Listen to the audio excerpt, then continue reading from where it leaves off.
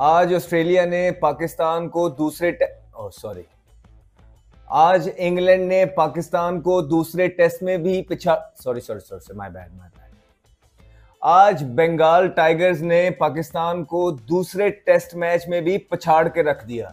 कि आप home team में तो देखिए, सारी चीज़ें आपके ऊपर है, आपने करनी है। मैच भी जीतना है मैच को बचाना भी है रन भी करने सारा कुछ करना है क्योंकि you are playing home home condition आपको पता है कि क्या करनी है, किस तरीके से करनी है राइट हम, हमारे टाइम पे हम ये थे कि जैसे भी खेलते थे, ये थे, हम डेढ़ सौ, दो सौ भी एंड करके, हमें पता दो सौ में हम उनको जीत लेंगे।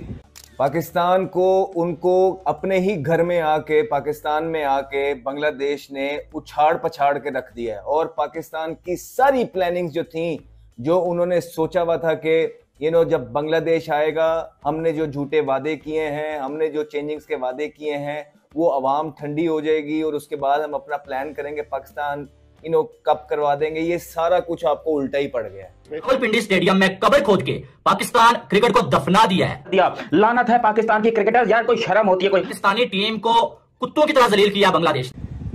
मगर आपको अब ये बच्चे हैं। मैं नहीं समझता कि अभी ये अभी तो ये लर्निंग में ही है। लर्निंग स्टेजेस पे ही है राइट आज करते हैं कल और आज पाकिस्तान के लिए ब्लैक डे है।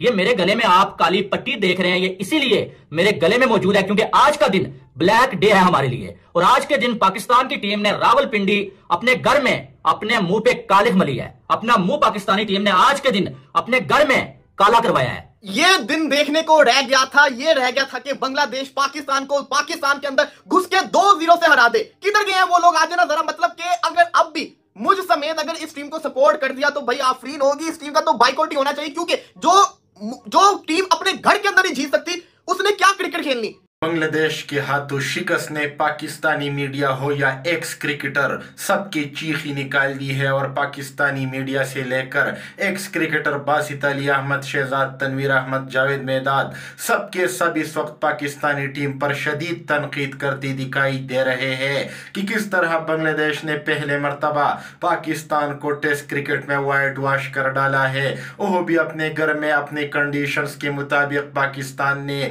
पिचेस तैयार किया की अपनी कंडीशंस पाकिस्तान की थी, मगर फिर भी जो शिकस्त है, वह बांग्लादेश के हाथों पाकिस्तान को हुई, जिसको लेकर पाकिस्तानी मीडिया क्या कहता है? उन्होंने टीम का बेड़ा गर्क कर दिया आप लोगों ने जो चेंजेस करने थे, वो नहीं किए।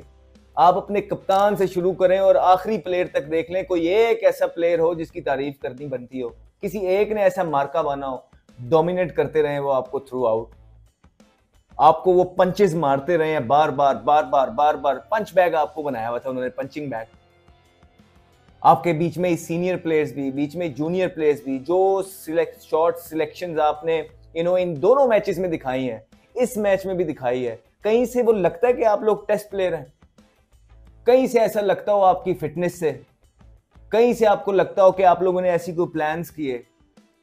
इनफैक्ट आप लोग तो हा हा, हु हु, ही ही बनाया आपकी बॉडी लैंग्वेज देख के ग्राउंड में और आपकी हँसी मज़ाक देख के, आपकी एक्टिंगें देख के ग्राउंड के अंदर। ऐसा लगता है कि Pakistan number two number three team Pakistani team को कुत्तों की तरह जलील किया बांग्लादेश ने। बैटर्स ने मार मार के बकरी बना दिया और बॉलर्स ने हमारे बैटर्स को पिच के ऊपर डांस करवाया। डांस जिसको बोलते हैं? नाच, मेरी बुलबुल, पैसा मिलेगा। नाचेगी नहीं तो कैसे मिलेगा? नचवाया पाकिस्तानी बल्लेबाजों को बांग्लादेश के बॉलर्स ने रावलपिंडी में।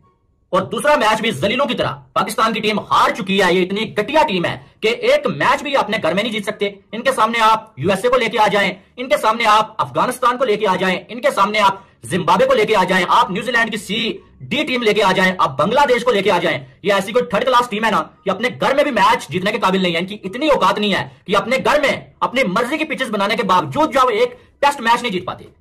जहाँ पर बांग्लादेश के बैटर्स आगे सेंचुरियाँ लगा रहे हैं। वहाँ पर हमारे नकली किंग्स आगे जो है वो दस रन बनाना उनके लिए इतना बड़ा मसला बना हुआ है कि आप अंदाज़ा नहीं लगा सकते।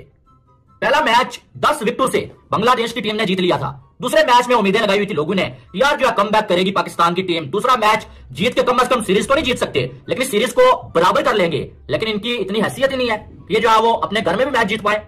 सारे घंटे के किंग बने हुए हैं, कोई ब्रैडमैन बना हुआ है, कोई कुछ बना हुआ है, लेकिन परफॉर्मेंस घंटे की भी नहीं है इनकी। एक रुपए की परफॉर्मेंस जो होती है ना नहीं दिया इन्होंने इस मैच में। हमारे पाकिस्तान में हमको इंग्लैंड पेल के गई, हमको ऑस्ट्रेलिया पेल के गई, हमको ये वाले भी, बांग्लादेश वाले भी पेल के जा रहे हैं, हमको न्यूजीलैंड वाले भी पेल कर गए। भाई, अपने होम ग्राउंड के ऊपर जब जीतना नहीं सीखोगे तो क्या तुमको क्या लग रहा है तुम्हारे लिए हम कोई रेड कारपेट बिछाते उसके ऊपर तुम क्रिकेट खेलोगे? अबे और कहाँ खेलना है? कौन सी तुम्हें जीत चाहिए? कौन सी तुम्हें फैसिलिटीज़ चाहिए? ऐसा लानत है तुम्हारी शक्ल के ऊपर।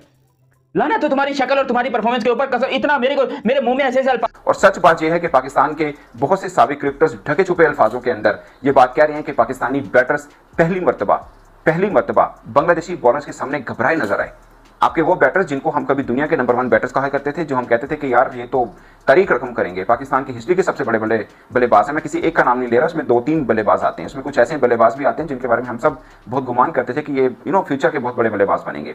मगर नहीं जाना के सामने बड़ों के कदम डगमगाए नज़र आए। जब बैटिंग की बात आई तो लिटन दास कि यार ये टूर उनके लिए तो यादगार रहेगा। हम बींग स्पोर्ट जर्नलिस्ट बड़ी बड़ा रखेंगे कि यार एक बांग्लादेशी बैटर आए थे, जिसने पहले टेस्ट मैच में भी पाकिस्तानी बॉलर्स का बरकस निकाला और दूसरों में पाकिस्तानी बॉलर्स की औकात दिखाई।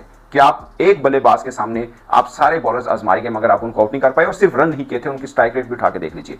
अब भी जब वो चेस कर रहे थे तो उनकी स्ट्राइक रेट उठा के देखें, बांग्लादेशी बैटर्स की स्ट्राइक रेट पाकिस्तानी बैटर्स की निस्बत ज़्यादा हो रही है और वो पाकिस्तान के बॉलर्स को खेल रहे हैं, पाकिस्तान की कंडीशन में। जबकि हम अपने घर में खेल रहे हैं और उस मैदान में खेल रहे हैं, जो मशहूर है, कि यहाँ पर तो यू नो बल्लेबाजों की जन्नत है। हर बल्लेबाज ख्वाहिश रखेगा कि मैं यहाँ पर खेलूँ। मुझे याद है, फखर जमान कहते कि मेरा पसंदीदा ग्राउंड रावलपिंडी का ग्राउंड है, क्योंकि ये इस तरह से बना हुआ पिच, इस तरह की कि बल्लेबाज जी हाँ दोस्तों, बांग्लादेश के हाथों पाकिस्तान को टू ज़ीरो की हजीमतनाक शिकस्त हुई है। वाइट वॉश कर डाला है। बांग्लादेश ने घर में घुसकर घर में आकर पाकिस्तान की जिस तरह टुकाई की है, जिस तरह पाकिस्तान को हराया है, बांग्लादेश ने।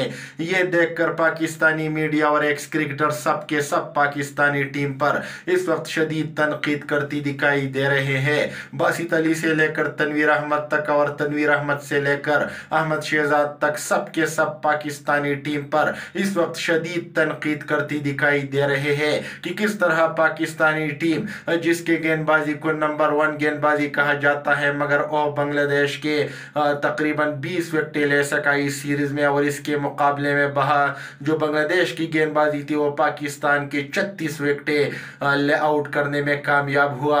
तो दूसरी तरफ़ अगर बल्लेबाजी की बात की जाए, बाबर आज़म जो जिसको किंग तो कहा जाता है, मगर इस सीरीज़ सीरीज़ में चार इनिंग्स में सत्तर रन बनाए। इसके मुकाबले में अगर बात की जाए मेहदी हसन मीराज की तो उन्होंने एक ही इनिंग्स के अंदर उन्होंने दो बार एटी प्लस का स्कोर किया और पाकिस्तानी टीम के खिलाफ जिस तरह छब्बीस पर आउट होने के बाद कम किया, लिटन दास और मिराज ने, ओह, देखने वाला था, ओह, शाया निशान था, जिसके बाद पाकिस्तानी टीम बांग्लादेश का मुकाबला भी नहीं कर सकी दूसरे टेस्ट मैच के अंदर और छह विकेटों से शिकस्त के साथ ही बांग्लादेश बांग्लादेश ने हिस्ट्री क्रिएट कर डाली और वाइट वॉश कर डाला पाकिस्तान को पहले मरतबा।